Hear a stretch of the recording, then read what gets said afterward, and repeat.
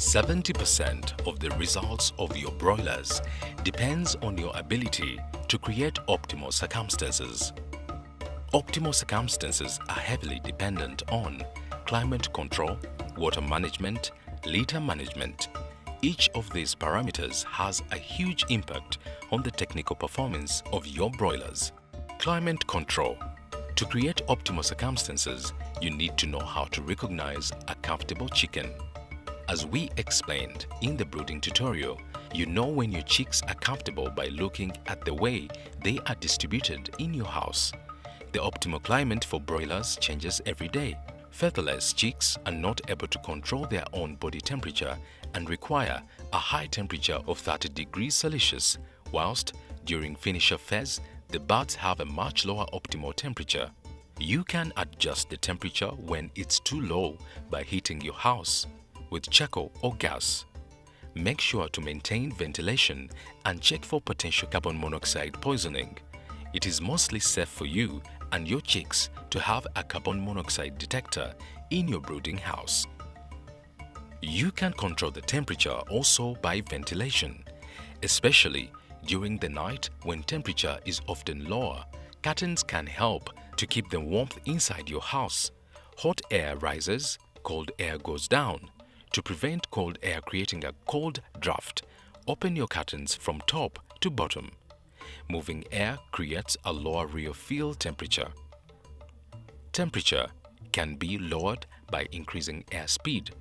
Air speed can be created through natural ventilation or by placing ventilators in your pen. Make sure that natural ventilation and additional ventilators are working alongside each other and do not oppose.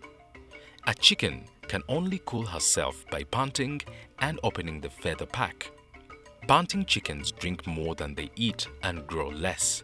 Cooling down with ventilation creates moving air. If the air movement is too severe, the chickens shelter on the floor and will not move to the feeders resulting in lower feed intake and lower growth. This is why in hot areas, broiler houses are equipped with air conditioning. The final way to cool your broilers is to provide cold, fresh water. Water is not only very important for growth, but it is also a tool for climate control. Never leave your broilers without water. They can survive three days without feed, but will not last a day without water.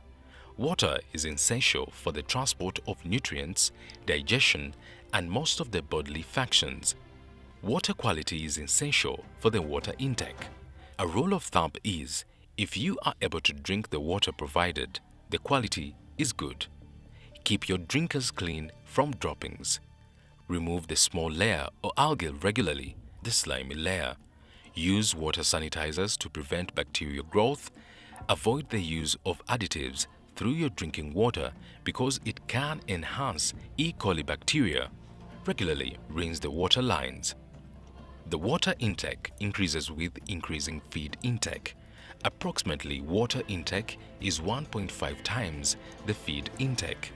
Make sure the capacity of your drinkers is large enough to provide your broilers with all the water they need every day. The required amount of water at day 7 is about 50 milliliters. At day 35, this is 275 milliliters, which is 5 times higher. Make sure the water tank capacity caters for the additional amounts. Adjust the height of the drinkers so the broiler can access water spilling. Always clean the water after raking the litter. Good quality litter is dry and supports a healthy living environment for the broilers. Never change the litter throughout a round. Changing litter causes stress and is undesirable. Hence, it is very important to physically work the litter. Wet litter releases ammonia, which affect the respiratory health and could affect feed intake as well as livability.